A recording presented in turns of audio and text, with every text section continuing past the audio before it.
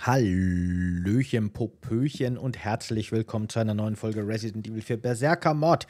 Wir stehen vor dem Bosskampf gegen Bürgermeister Mendes und dann sind wir, zumindest normalerweise, gucken wir mal, was der Mod noch für uns bereithält, aber dann wären wir eigentlich so ziemlich fertig mit äh, dem ersten Abteil, dem ersten Drittel, dem Dorfabschnitt aus Resident Evil 4 Remake. Äh, ich bin sehr gespannt. Lasst mich mal ganz kurz unser Inventar nochmal checken. Ich habe jetzt gut eingekauft. Wir können viel Munition craften, wenn es notwendig ist. Auch heilungstechnisch sieht es jetzt gerade okay aus. Uh, let's go. Was höre ich denn da schon wieder? Ah, guckt euch das an.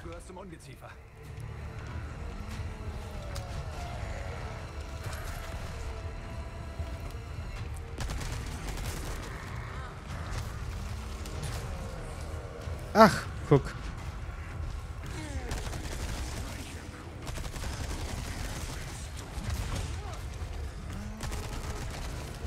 Das war leider scheiße.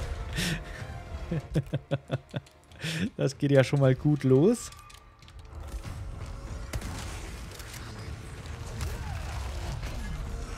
Zum Glück zählt die Combo nicht. Das wäre ziemlich gemein gewesen. Oh mein Gott, ich weiß wirklich leider immer nicht, was ich drücken soll, was ich jetzt kontern soll, wenn alles gleichzeitig kommt. Ach, guck mal, der Kuhmann hat ihn gerade gehauen. Das ist ja nice. Oh, ich muss runter. Shit.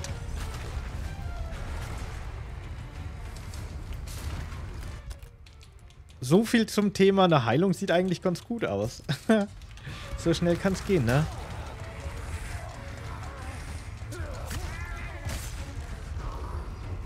Aber ich glaube, das ist eine ganz gute Idee, hier unten zu kämpfen, weil die beiden auch Mendes Schaden machen letztendlich.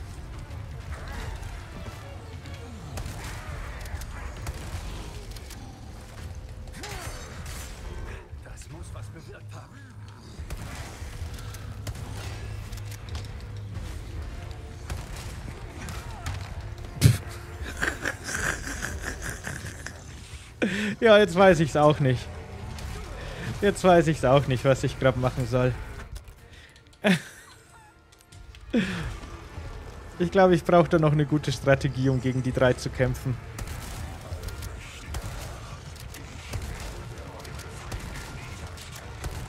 Wirbel, Wirbel, Zauberattacke!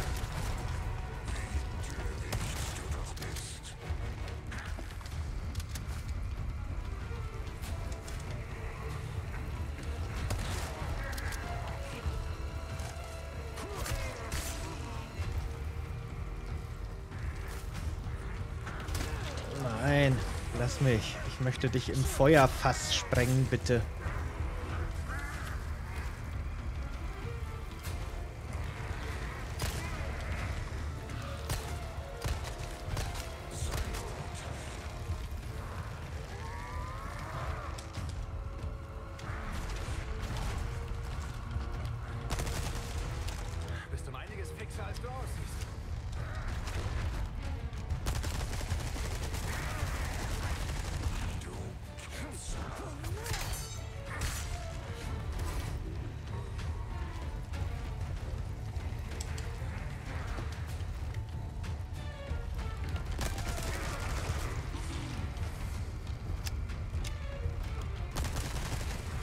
Okay, erste Runde vorbei. Das war katastrophal. Äh, weiter geht's mit Runde 2. Mal schauen, ob die genauso schlimm wird.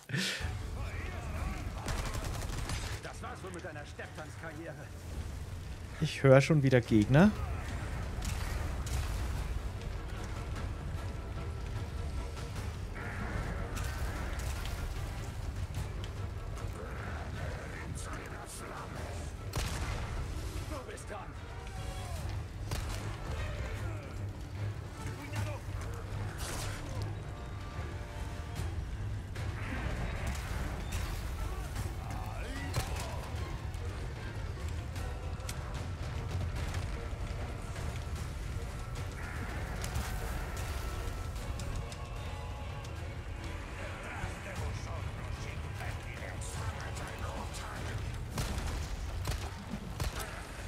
Ah, shit.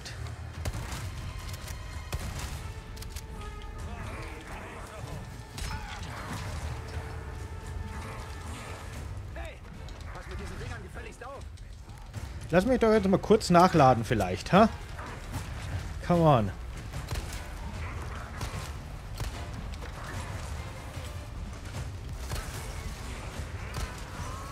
Da ist was aus dem rausgekommen. Ach, come on.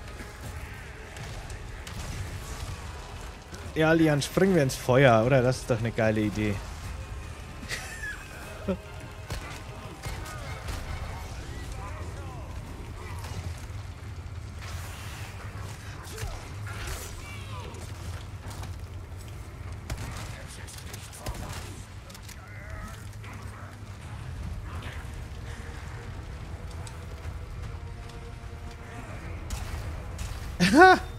Dass der mich nicht getroffen hat, gerade war so Glück. Nein! Oh, come on! Das gibt's doch nicht. Weil der kleine Trottel da unten in dem Moment, in dem Moment, in dem scheiß Moment, wirft der eine blöde Axt. Ich glaub's einfach nicht.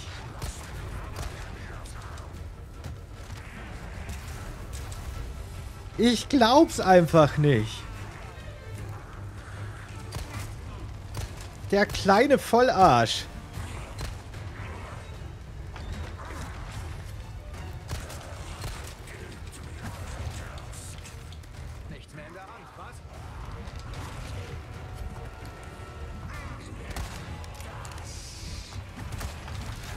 Au.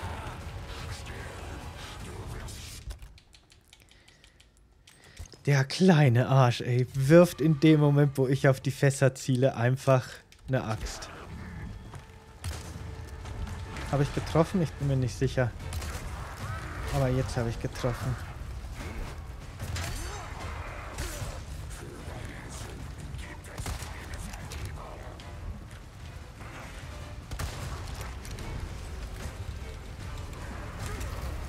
Ich habe so lange in dem Bosskampf nicht gecheckt, dass man hier hochgehen kann. Was natürlich alles sehr viel leichter macht. Ah, shit, das habe ich jetzt übersehen. Diesmal bin ich schuld, nicht der Axtkerl. Aber es ist wirklich gemein, ich komme kaum zum Nachladen hier.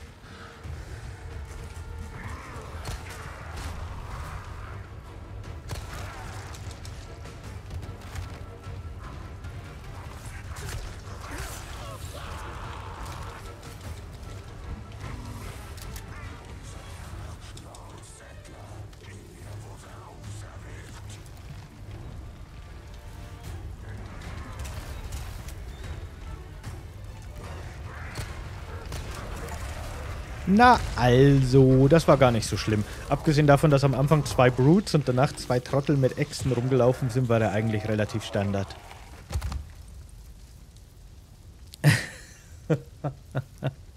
Ey, ohne Scheiß, das Spiel ist so ein Arschloch. Oh, ein Brief? Letzter Wille und Testament, das ist definitiv neu. Dr. Salvador, wenn, äh, if, ja, wenn ich am Ende scheitern sollte, den, den Fremden, den, den Eindringling aufzuhalten, dann hängt alles von dir ab. Zeig deine. Und den Rest kann man nicht lesen. okay. Okay, heißt das, Dr. Salvador ist der geheime letzte Endboss, gegen den wir jetzt noch kämpfen müssen? Ja, ich komm schon.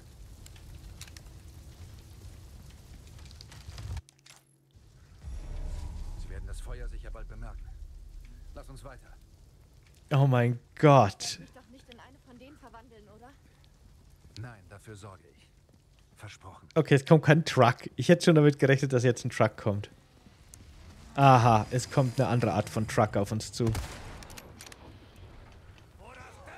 Oh, er ist leider nicht alleine.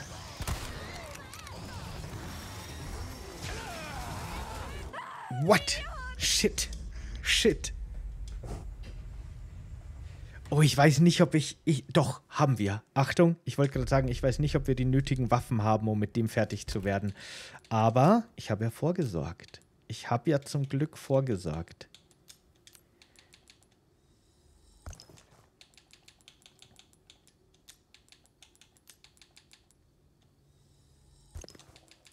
So.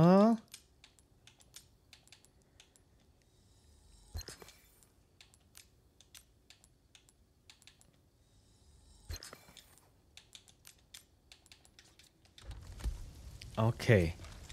Jetzt lasst mich mal alles durchladen. Dann kriegen wir das schon hin.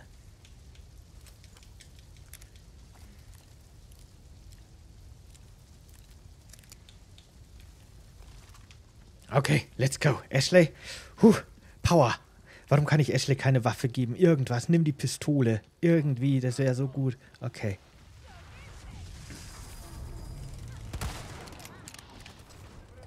Das wird laut.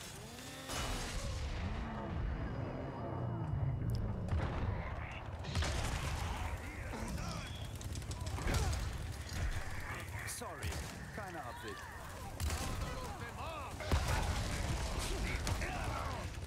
Das ist echt ungünstig.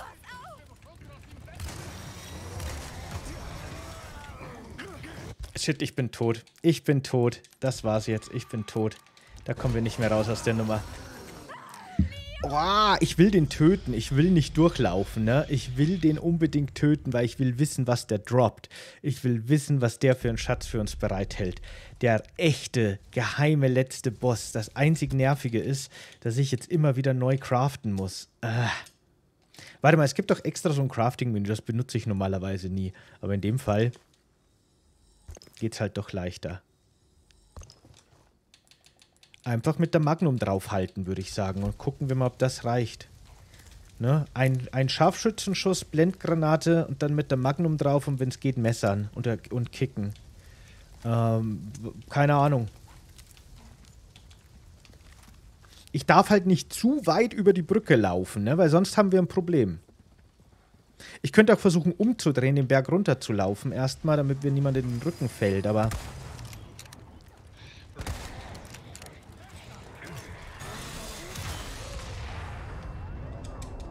Ich habe das Gefühl, der ist auch immer nur sehr kurz gestaggert, der Arsch. Wenn ich ihn halt auch treffen würde. Was zur Hölle? Was zur Hölle ist da gerade explodiert eigentlich?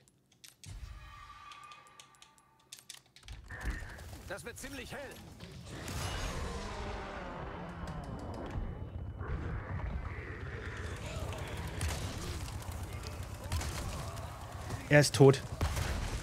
Er ist tot. Und er droppt eine kunstvolle Halskette. Okay. War halb so schlimm. Also ich meine, verdammt haben wir viel Magnum in dem reingeschossen und nervigerweise auch daneben. Ah, und wir haben Ashleys rote Haarfarbe gefunden und noch ein bisschen Gewehrmunition. Okay.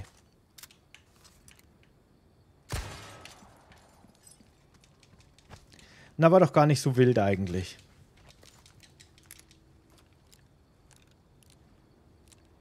Ich habe Schlimmeres erwartet. Okay, Dr. Salvador, der geheime letzte Boss im, im Dorf.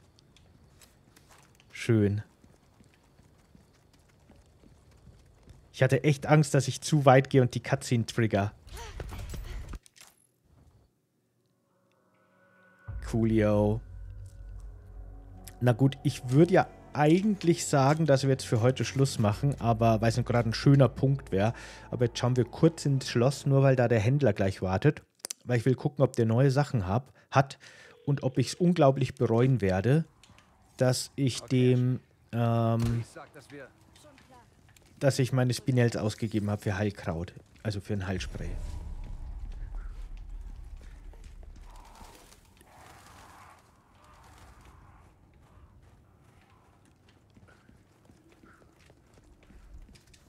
Guck nur, ich erwarte schon fast, dass mich hier irgendein Kettensägenkerl anspringt, aber bis jetzt... Ah, eine Schlange springt mich an. Na gut. Leon, treffen wir die jetzt mal? Ja, haben wir schon, gut.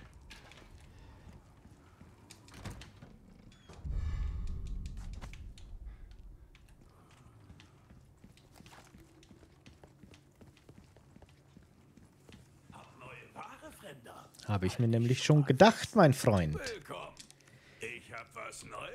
Aha. Hochleistungsziel, Fernrohr und die Blacktail. Die Blacktail. Ich könnte die. Ja, okay. Warte mal kurz, Händler. Keine Sorge, ich bin zum Handeln hier. Du musst nicht enttäuscht sein.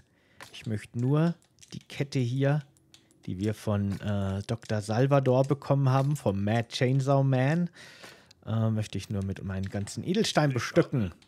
Sehr gut. Und jetzt guck mal. Bam, Reichtum.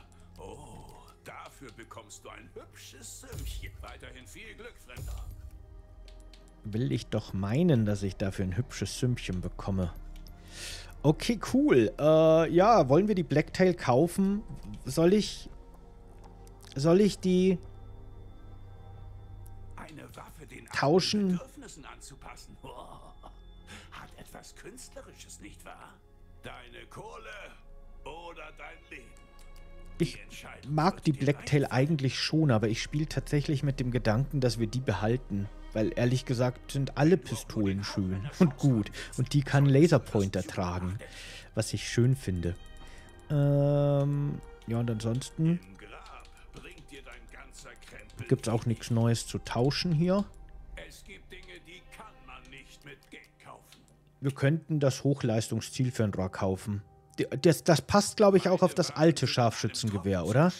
Ich meine, die ist jetzt im Sonderangebot. Das müssen wir jetzt kaufen. Ich hab nur die komm. Jederzeit wie.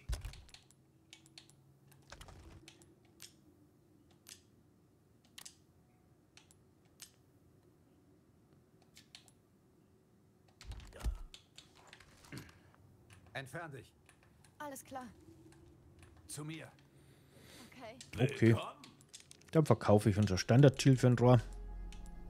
Wobei man das vielleicht später für das Maschinengewehr aufheben könnte, ne? Glaube ich, glaube ich, das passt da auch. Mm, Ich brauche jetzt ehrlich gesagt die 2000 nicht. Und es ist nur ein Inventarplatz, ne? Ich lasse es mal. Kann man später immer noch verkaufen. Läuft nicht davon. Okay, Leute, cool. Äh, machen wir für heute Schluss, würde ich sagen. Und morgen. Oh, warte mal, das war, glaube ich, was Neues. Business-Tipp. Hä?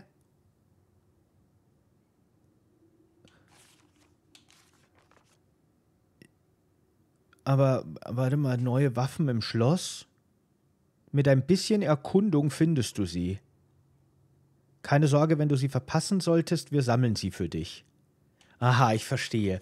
Das ist tatsächlich eine neue Notiz gewesen. Im Grunde sagt mir der Händler hier, okay, im Schloss sind neue Waffen für mich verteilt und wenn ich mal eine übersehen sollte, dann kann ich die bei ihm kaufen. Und ich schätze, so war es auch mit der Broken Butterfly. Ne?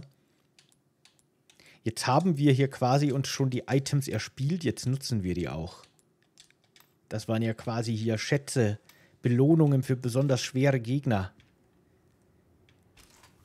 Und die Sonnenbrille schützt ja sogar gegen Blendgranaten. Wenn auch nur ein kurzer Vorteil. Okay. So, machen wir Schluss. Danke fürs Dabeisein. Hat mich sehr gefreut. Äh, schön, dass ihr da wart. Morgen, übermorgen, beim nächsten Mal. Ich habe keine Ahnung. Wenn ich aus dem Urlaub zurück bin, ne, jetzt habe ich vorproduziert. Schauen wir dann mal. Ähm, Dienstag, 18 Uhr, Resident Evil 1 Stream. Aber grundsätzlich geht es auch hier mit Resident Evil 4 weiter in irgendeiner Form. Gucken wir mal. Und Eternal Darkness läuft auch noch. So viele Projekte gleichzeitig. Vielen Dank fürs Zusehen. Bis zum nächsten Mal. Tschüssikowski.